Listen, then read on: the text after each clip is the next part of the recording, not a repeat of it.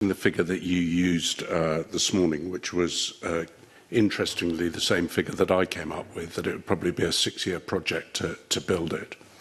Um, and with my experience of compulsory purchase orders and how they actually work, um, they, they take a minimum or can take a minimum of three years to get through by the time you've gone through the whole process of of issuing notices, getting confirmation of the government, uh, issuing the orders, speaking to the owners, a uh, public inquiry if that's the way it's going to go. That means that it would take nine years.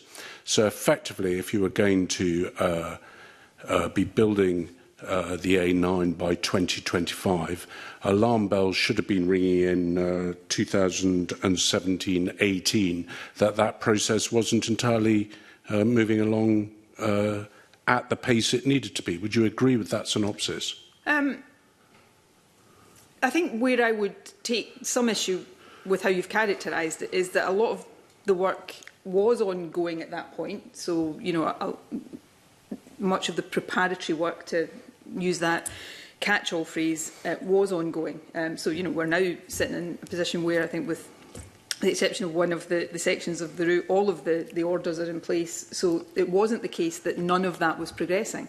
Um, the, the six years, of course, was uh, an estimate that was made um, way back, I think, about the construction uh, period. The, the significant issue, not the only issue, but the significant barrier we were grappling with at that point was funding. Uh, funding options in terms of the uh, coming up with a private finance uh, possibility versus the pressure on our capital programme. So you can have everything else in place, you can have you know, the, uh, all of the preparatory work done, but you need to have routes to funding and procurement, and that was the that was the aspect of this that was the significant or most significant challenge. With, with respect, the funding is is critically important. I, mm. I mm-hmm. accept that fully, but what what I've laid out to you is a timescale that a surveyor and, and people working within the industry would set to deliver the project, which I think from the moment you issue the first order would, would be approximately nine years. And, and that takes us back, and which is why I'm confused that it only came to light in 2023, when it actually probably should have been coming to light back in 2017. So my question is, Mr Youssef, who was the Transport Minister in 2017-18, did he come to you and tell you there was a problem? Because if he didn't, then, then we probably found out where, where the delay started from. Um, I think that would be an unfair um, characterisation of uh, of his position. I, I don't recall a particular uh, occasion where he came to me and said, First Minister, we've got a big problem with the A9. E But we were, we were always looking at you know, the progress and the issues we were uh, grappling with. I think, I think it's important not to be overly binary about this. Of course, it was the case that by the time we, you, you get to 2017, 2018, uh, we realise that there are significant hurdles along the way to uh, completion on target. It, it was only at that late 2022, early 2023 point that it was uh, clear that there was no viable route to 2025, uh, and that was a funding issue. Again, you know, obviously a lot of the, the work that was necessary to get pro the sections of the project into construction was being done, had been done, so things were progressing and moving along. So it wasn't a sort of binary thing of here we are one day with none of the work done and oh, we don't have enough years left to do it, It was an ongoing process that we were determined to try to find a, a route to 2025. It was a diminishing prospect the closer to that you got. Obviously, that stands to reason. And we reached a point where it was clear there was no viable route to that. So in a, I suppose if I was to I can turn that question back, maybe, maybe the criticism that could be made is we were so determined to try to find a route that maybe we didn't tell ourselves quickly enough that that wasn't there.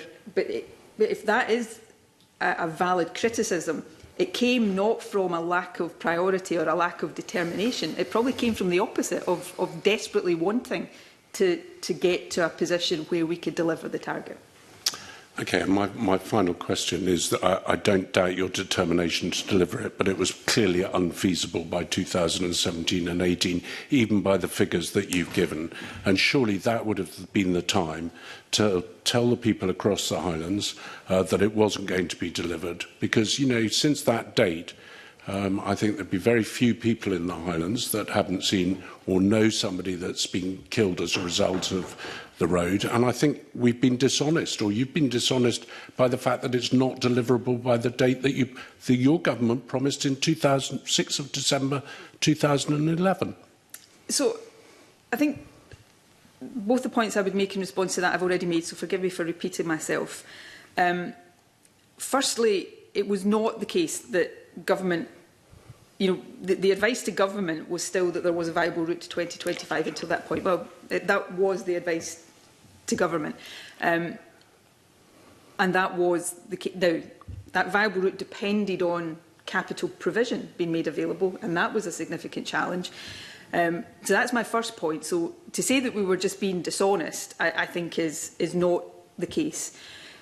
The second point, though, is when I, I think I made in my first answer to the convener, yes, I look back in that period and think you, we should have been airing this perhaps more publicly. I, I, I certainly think that is a reasonable question to pose.